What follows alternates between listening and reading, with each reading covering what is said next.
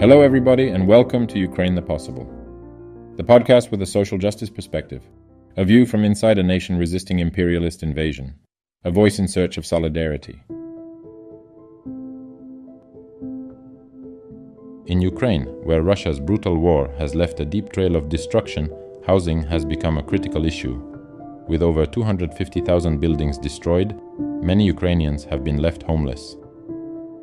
In this episode, we explore the contributions of the government, local authorities, NGOs, and volunteer initiatives to address the housing crisis.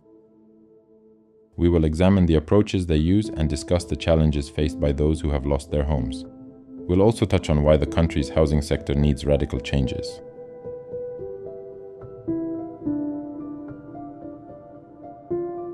We begin with the stories of real people who have faced the consequences of war firsthand with their homes seriously damaged or destroyed. 59 year old Natalia from Bucha not only lost her home during the war, but also her loved ones. Her husband was killed by a Russian shell, and their house was destroyed. After the city was liberated, Natalia returned to find her home in ruins. The wall had cracked and the staircase had collapsed. The building was declared uninhabitable and the authorities promised to fund the construction of a new home. However, the process stalled at the foundation stage due to an unscrupulous contractor who hired unqualified workers. Eventually, the project resumed, but Natalia had to file a complaint with the prosecutor's office, leading to an investigation into the contractor's ties with the local administration.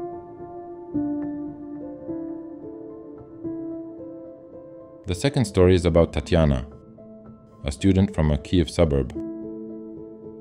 She and her family were forced to flee their home when the war began. They left their ground floor apartment, which was damaged during shelling. Upon returning, the family had to pay for numerous expert assessments and repairs themselves. Tatiana's family couldn't receive compensation under the state program for restoring damaged housing because their home was originally an extension not officially registered as a residential building. An alternative solution emerged. A developer promised to restore their home by the end of 2024, although no specific deadlines were given. Currently, the family is living temporarily nearby on the same street where their damaged apartment is located. They hope the developer will fulfill the promise and they can return home.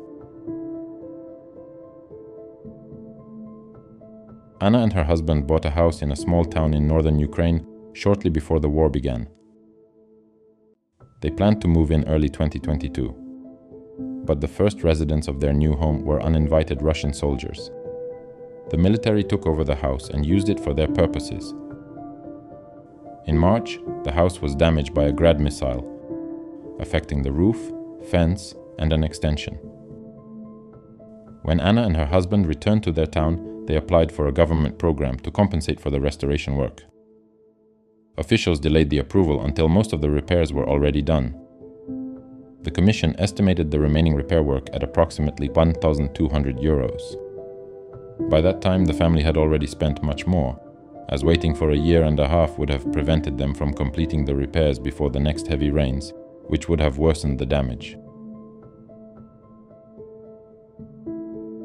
Olga, a 33 year old housewife, lived with her husband and two young children in a three room apartment in Mariupol. In 2014, they bought the apartment from a family fleeing the war initiated by Russia. For nearly eight years, the apartment was a safe haven for the family. When Russia's invasion began on February 24, 2022, they decided to flee to Olga's mother's village near the city the family took the bare minimum with them. Later, they learned that their apartment was destroyed. The balcony, loggia, and bathroom were burned down. Now the family lives in Portugal, feeling lost and not knowing what to do next, as they have nowhere to return to. Moreover, Mariupol is occupied by Russian forces, and the family has no other housing in Ukraine.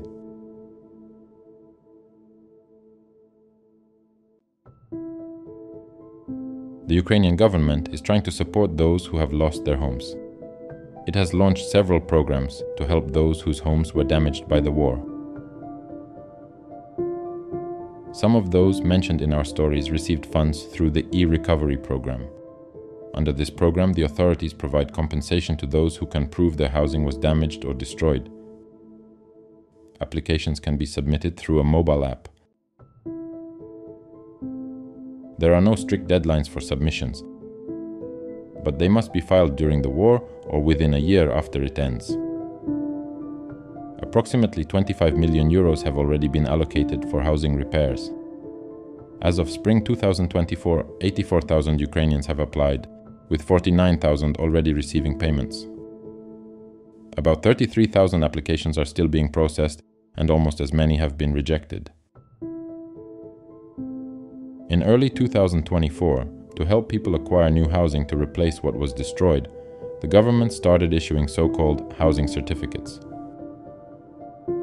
The idea is that any Ukrainian citizen who lost their home due to the war is entitled to receive at least part of the amount needed to purchase new housing. This applies to those whose homes were completely destroyed and those whose houses were damaged beyond repair. If the actual cost of the new home exceeds the amount specified in the housing certificate, the recipient must pay the difference themselves. The certificate can only be used by the owner of the destroyed home or their heir the owner cannot sell or gift the house for five years. Currently, around 12,400 people have applied for these certificates, and 5,400 have already been issued. The government promises to process applications within 30 days, although in regions with frequent shelling, the timelines may be longer. The program had its limitations. Until recently, housing certificates were only issued to those who lost their homes in government controlled territories. This meant that people who lost their homes in places like Mariupol, which was largely destroyed by Russian shelling and is now under occupation, had no practical way to access their right to compensation. The problem was the lack of a mechanism for remote assessment of destroyed housing in temporarily occupied territories now the government promises that this issue will be resolved not only for Mariupol, where the Russians are demolishing destroyed homes and building new ones, but also for other occupied territories. To address this, a pilot project has been launched to confirm housing destruction through remote sensing, specifically aerial photography. The project began in Melitopol, a southern city occupied by the Russian army at the start of the 2022 invasion. So far, a special commission has reviewed only four applications for compensation for destroyed real estate. In two cases, the victims have already received housing certificates for compensation. It's important to acknowledge that officials have been slow to address this problem. Since the southern regions of Ukraine were occupied by Russian forces, more than two years have passed.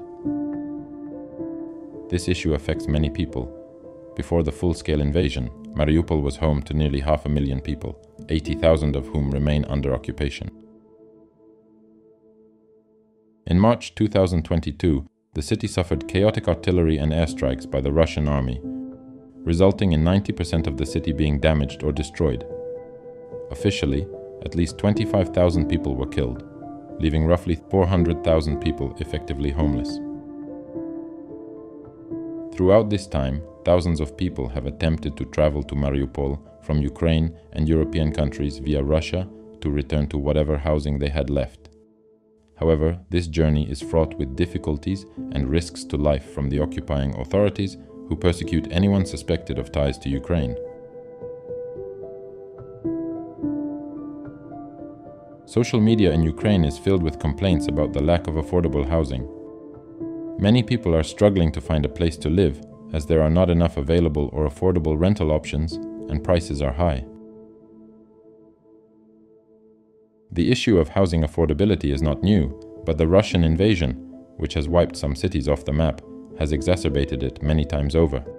Hundreds of thousands of people have been forced to leave their homes and are now in desperate need of shelter. At the beginning of the invasion, displaced persons were settled in any suitable premises, including school gyms and university dormitories. But these were temporary solutions, and after a few months, many were asked to leave as gyms and dormitories were needed for student. Despite loud declarations from government officials about the inadmissibility of evicting displaced persons without providing alternative housing, little real action was taken.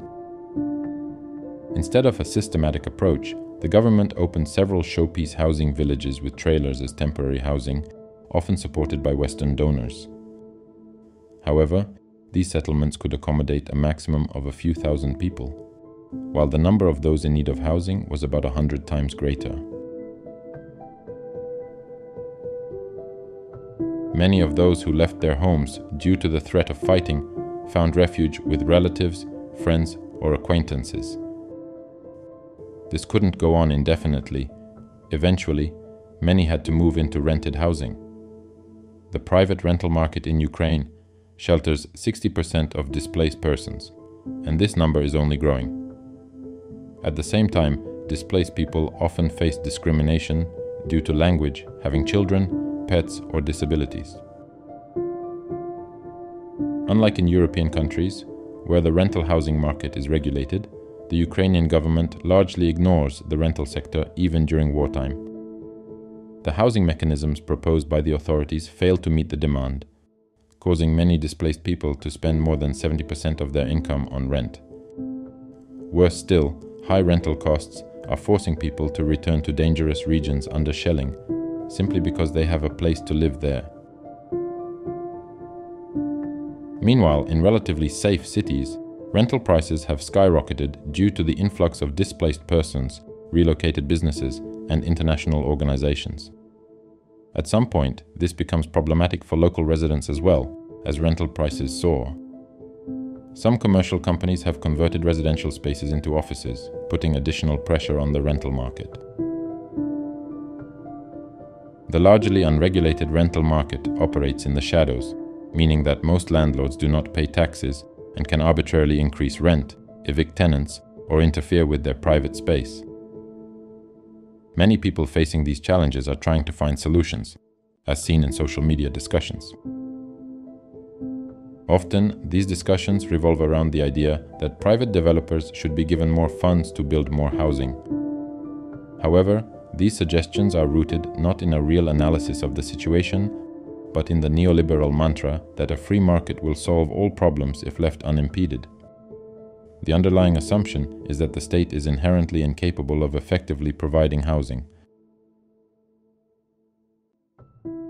Another recurring theme in these spontaneous online discussions is the moralization of the issue, shifting the blame for the housing crisis onto landlords who are perceived as unsympathetic to those displaced by the war. This misdirects responsibility away from politicians and the government who regulate this sector onto landlords. The housing crisis persists not simply because landlords are greedy. It would be naive to expect landlords to act irrationally benevolent. Such a solution is neither reliable nor sustainable. Fundamentally, Housing affordability is a result of political decisions regulating the sector and the role of housing in the economy. While it would be ideal to have fair minded landlords, the only long term solution lies in structural political changes.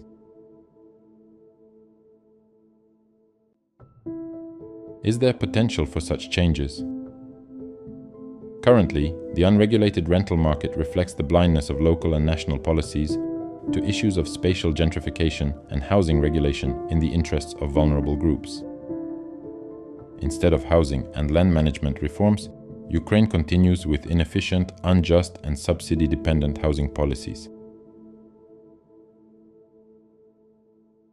The situation is further complicated by the authorities' reluctance to utilize vacant private properties. In Ukraine, particularly in western regions and Kiev, a significant amount of housing is used not for living, but for capital investment. It often seems the government lacks the competency to regulate the housing sector and is not eager to develop it. This results from a lack of housing policy and specialized institutions. Government bodies prefer to shift responsibility onto one another. Officials wait for new donor funds and rely on outdated pre war realities instead of focusing on the current needs of the people. It is no surprise that old methods do not work. Although the authorities recognize the housing problem, their measures are insufficient and many approaches do not promise a solution in the near future. For example, the government's attempt to stimulate demand by offering subsidized mortgages does not lead to an increase in affordable housing, but rather to a new wave of price hikes, reducing housing affordability. Decades of governmental silence and inaction have allowed developers and their lobbyists to impose their discourse, replacing housing policy with construction policy. Although the war has destroyed many homes, construction has resumed in some cities. Due to migration, there is increased capital pressure on major cities away from the front line. This creates new risks, such as the resumption of economic displacement of vulnerable groups and the absence of principles of social justice in the recovery process. These trends continue the pre war logic. The weak capacity and unwillingness of municipalities to manage spatial changes have led to the privatization of urban spaces or public resources by capital for profit. Privatization limits access and increases usage costs, as seen with social dormitories, the demolition of historical buildings, the eviction of communal cinemas, the lack of social infrastructure, and aggressive densification. All these are real processes of economic displacement, unregulated by society. Let's take a closer look at the history of housing in our region. In the countries of the socialist bloc, socio-spatial disparities were significantly lower due to state control over construction, non-market housing distribution, and restrictions on its exchange. The standards and parameters of new apartments were meticulously defined based on the needs of the population. The state monopoly on land meant uniform land costs across the city, and usage fees did not depend on location. The 1990s and 2000s saw a period of active privatization, both of housing and other real estate. This allowed residents to stay in their apartments, but led to a shift from a system of universal welfare to one based on private ownership. Although private home ownership is the dominant model today, an adequate property tax has yet to be implemented in Ukraine. This creates a serious imbalance in the housing market. It's evident that property and land taxes in Ukraine are disproportionately low. While in the US, local budgets derive over 70% of their revenues from property taxes, in Ukraine, this tax accounts for only about 3% of local budget revenues. Inadequate taxation on property and assets has far reaching consequences for the housing sector. It creates opportunities for new gentrification and the emergence of islands of wealth amidst a sea of poverty that are uncontrolled by the state or society. Astonishingly, developers who already benefit greatly from the existing conditions want to push even further. In Ukraine, there are proposals to build so called private cities these cities would supposedly operate without municipalities and social responsibility. The mere emergence of such an idea indicates a troubling phenomenon the lack of understanding of a city as an integrated system. For the lobbyists of this concept, entire aspects of real urban life, such as social life and many economic factors, remain a blind spot. Each private city seeks to consume the cultural and infrastructure resources of the real city without bearing the costs of their maintenance. Another alarming topic is the prospect of large-scale reconstruction of residential areas in major Ukrainian cities.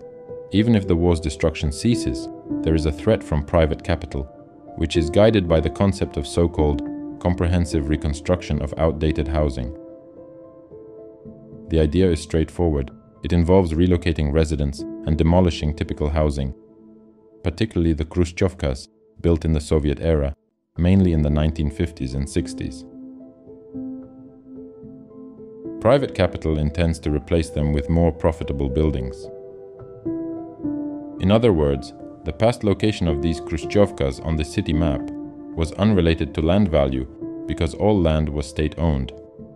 implementing the comprehensive reconstruction idea would lead to income based spatial stratification, creating a polarized city, a phenomenon previously limited by the low mobility of the housing stock. Supporters of comprehensive reconstruction might exploit the fact that part of the housing stock in Ukrainian cities was destroyed by Russian shelling during the war. Developers won't need to negotiate with residents or find ways to relocate them since many have already fled their homes due to the conflict. Parliament has introduced bills on the reconstruction of outdated housing, which curtail guarantees for people living in such housing. It remains unclear where these people will be relocated after their homes are demolished. Essentially, this could become an example of reconstruction through displacement. Unfortunately, this practice overlooks the possibilities of improving, adapting, and densifying areas while respecting existing infrastructure, urban communities, and spaces. Responsibility for developing common infrastructure is shifted to urban communities, which in turn lose the ability to allocate revenue from rising land values for social housing, transportation, education, and aid for displaced persons. Commercial development will strengthen its influence, while communities will lack tools to regulate development and create balanced neighborhoods. Gentrification and displacement will dominate the logic of restored quarters. In Ukraine, the need for reforms is often discussed.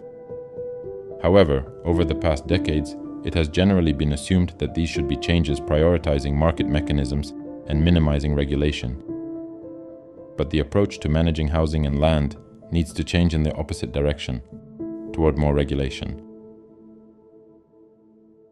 Many international organizations working in Ukraine on housing issues advocate for the creation of municipal structures that operate in the interests of local communities. However, this meets resistance from officials. Such an approach contradicts the current policy of deregulation and the withdrawal of municipalities from the control of property and land. It's already clear that if we rebuild cities based on old principles, we'll only create new problems.